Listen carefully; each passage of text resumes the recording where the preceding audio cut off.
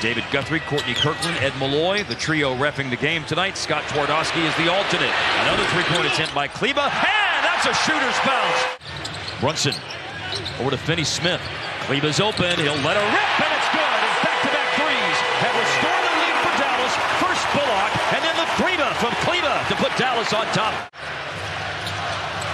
Well, the gamble paid off for Jason Kidd and the Mavericks as Kleber shoots a three-pointer, and it is that sweet sound of the string music. Yeah.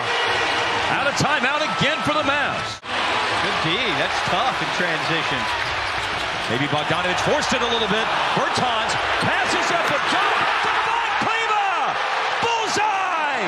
Really tough execution. Dallas took a one-point lead, but Utah closing out the quarter strong again.